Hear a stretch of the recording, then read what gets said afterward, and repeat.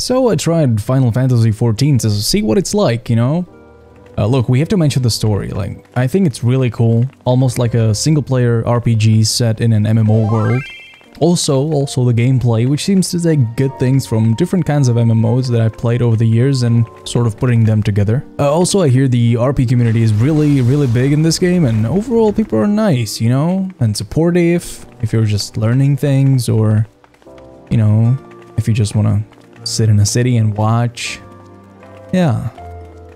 First impression good.